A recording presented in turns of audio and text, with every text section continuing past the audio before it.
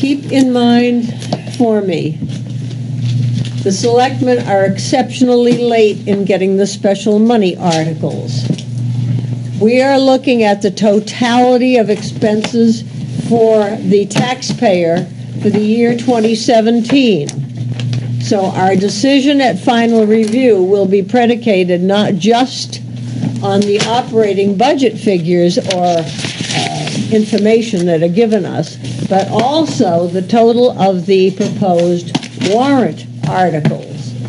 And I am concerned about the pace of getting those warrant articles through to the Budget Committee. Um, Regina, do you have any idea of the number?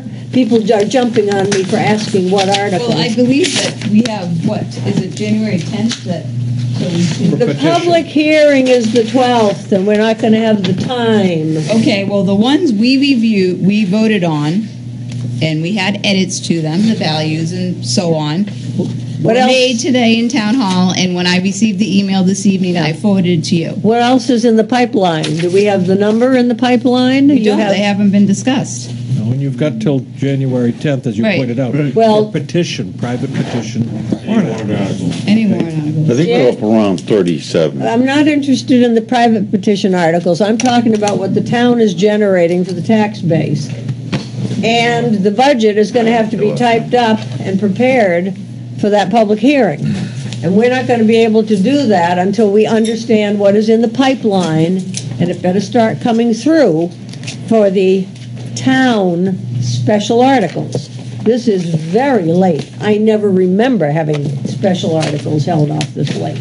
I'm just Chairman. warning you that we're going to need to know what the total is.